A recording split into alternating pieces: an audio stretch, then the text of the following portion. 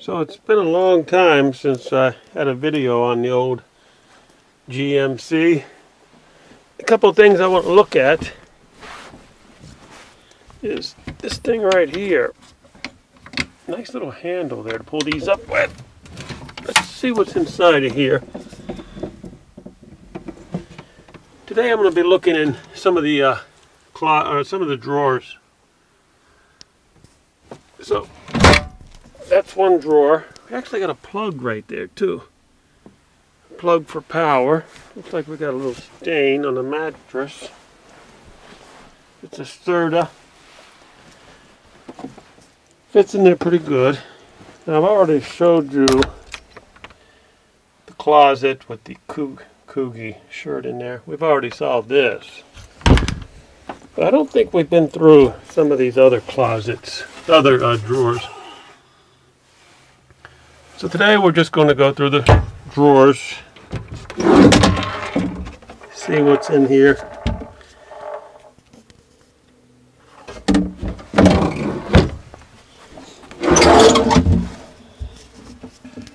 It's a dime.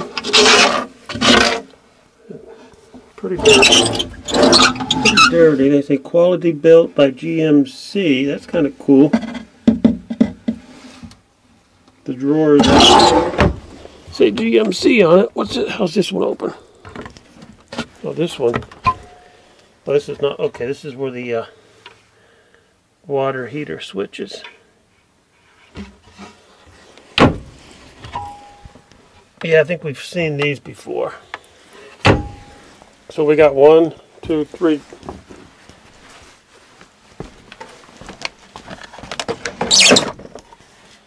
Some more drawers. Again, it says quality built by GMC. GMC. This is the key for the refrigerator. Pots and pans. Some more storage space. Not really going to do much today, but I want to go show you my flat tire too. The flat tire was kind of a pain in the ass. Let's go outside. Actually, this video is over three minutes long already. Why don't we save the next, uh, the flat tire for the next video? It's been, like I said, it's been over eight months since we last talked about this vintage baby. A lot of water under the bridge. And uh, it looks like YouTube is now starting to promote these vintage GMC motorhome videos for some reason. I don't know why. So maybe we'll continue to do some more videos. And the next video, I'll talk about the flat tire.